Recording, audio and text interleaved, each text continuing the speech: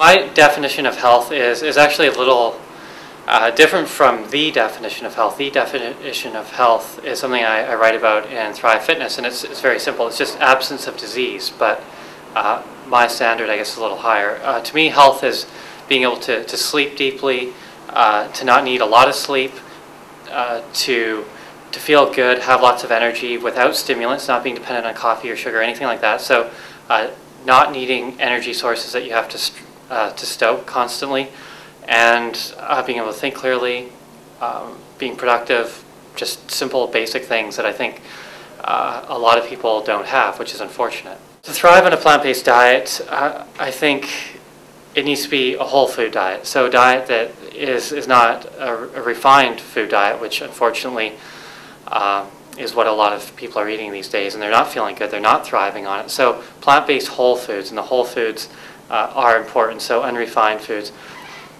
Lots of greens, lots of uh, fruit and pseudograins in place of refined carbs, stuff like that.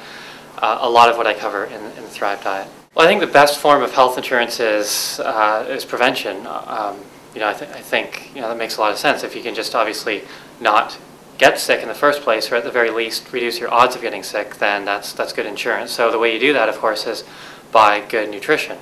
A lot of the things that I write about in the Thrive diet, um, obviously high net gain foods, alkaline forming foods, uh, just plant-based whole foods in general. And uh, if you eat those, you exercise on a regular basis, your odds of getting sick go down and uh, you don't need conventional health insurance.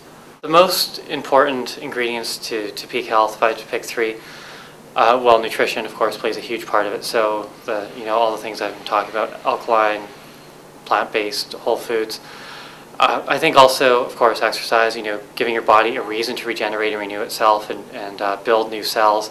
So doing that on a regular basis uh, is important. I think also, too, uh, mentally, it's, it's important to, to try and uh, be healthy. And I think how, how you can do that is, is keeping things in perspective, doing things you enjoy, like uh, knowing that if you're forcing yourself to do a lot of things that, that you don't like, that does actually have a physiological response causes cortisol to go up, which reduces sleep quality and, um, and makes you dependent on caffeine and sugar and all those types of things. So I think knowing that uh, enjoyment is part of it, and you have to you have to do some things you like once in a while, and don't force yourself to do uh, things like a workout program that you don't like. If you don't like your workout program, find one that you do like and, and go with that. And I think that's really important mentally, and therefore I think that's lo important long term uh, for health.